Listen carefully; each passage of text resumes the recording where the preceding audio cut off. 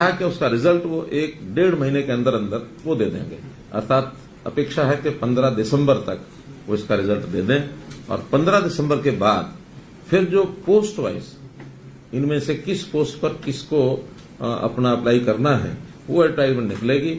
उसके हिसाब से जो पास कैंडिडेट हैं, उन पास कैंडिडेट को उनको एक मौका दिया जाएगा। Four times number of post के हिसाब से हर एक डिपार्टमेंट के लिए, हर एक पोस्ट के लिए उनको एक एग्ज़ाम देने के लिए और बुलाया जाएगा। तो उस एग्ज़ाम में आ, उन लोगों के पास करने के बाद फिर उनकी सिलेक्शन फाइनल हो जाएगी नो इंटरव्यू इसके बाद ग्रुप डी का भी ये सारी प्रोसेस होने के बाद लगभग छह महीने इस प्रोसेस में लग जाएँगे।